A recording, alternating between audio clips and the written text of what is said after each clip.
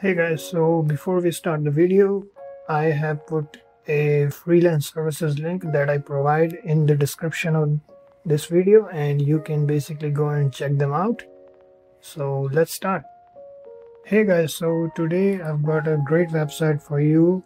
It is experiments with Google Thing Translator, right? So this is a Thing Translator. This is uh, some Google project which basically does is it basically can change scans whatever you put in front of the camera and tell what thing it is and then translate its name automatically in whatever language you choose.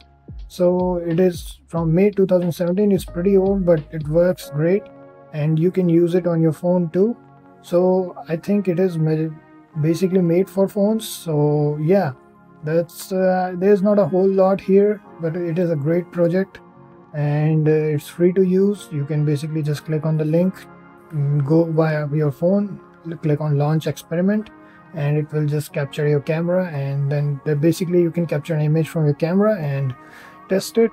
And it's pretty fun. It's free easy and uh, yeah. I think it's a great tool if you're in some foreign country where you don't know what you are exactly what to say to certain things and you can just take a picture translate it and tell people that this is what you want. So yeah that's all there is to it uh, for thing translator and uh, i will see you in the next one. Thanks for watching. Thank you